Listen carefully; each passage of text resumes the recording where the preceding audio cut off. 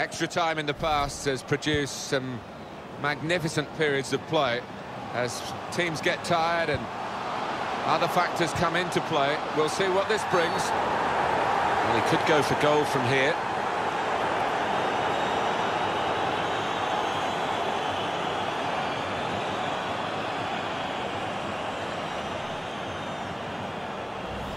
He took a chance there, really, and I don't think it paid off. Yeah, I think so. And it was a poor tackle. It was badly timed.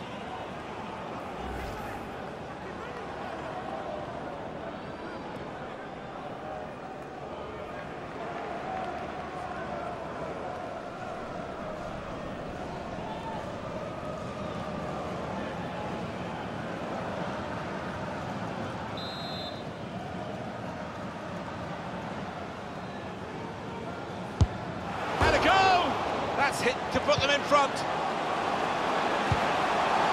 Goalkeepers love to be busy, and he's certainly busy at the moment.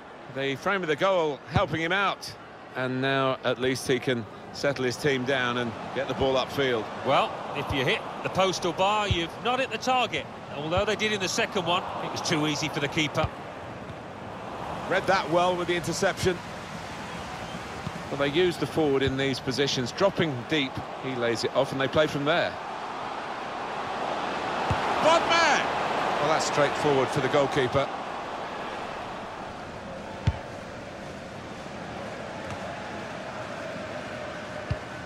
They could have got through there, but the defender was absolutely on top of his game. Out into the wide areas now.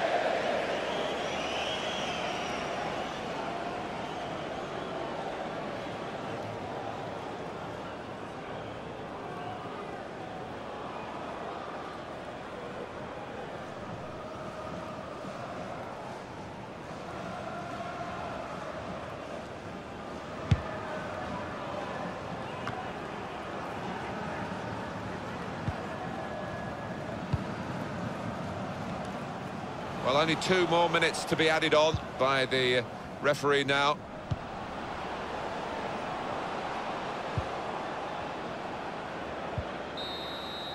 Been a really good match, this.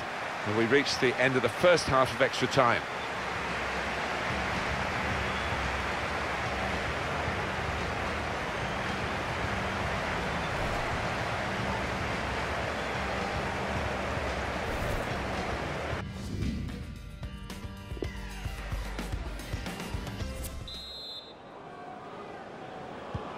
On we go into the second period of extra time.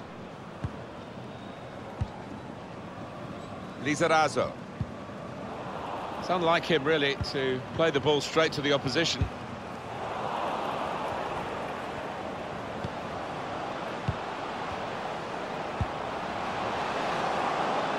And they've got a man out wide. Referee's pointed for a goal kick.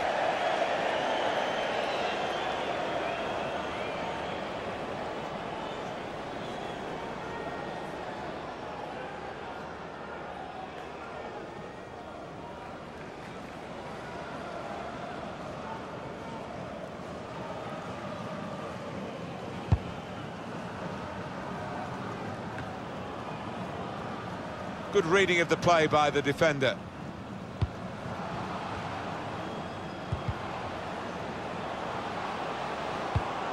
They tried to keep it, but they haven't been able to do that.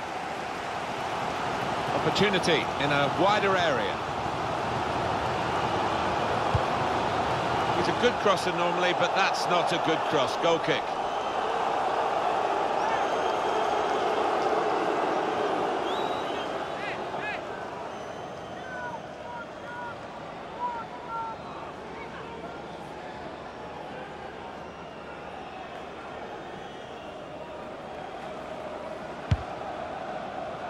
Counting down for five minutes to go in this extra time second period.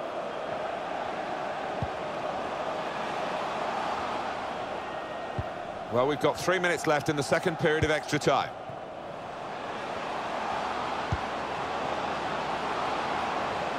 That's good support play from his teammates. And the defender is able here to control the ball and clear. Two minutes of added time. That's what it says on the board.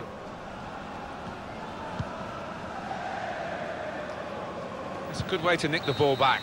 Quick thinking. Well, it's fantastic for the fans. It's pretty nerve-wracking for the penalty takers. Not too bad for the goalkeepers. Here comes the shootout.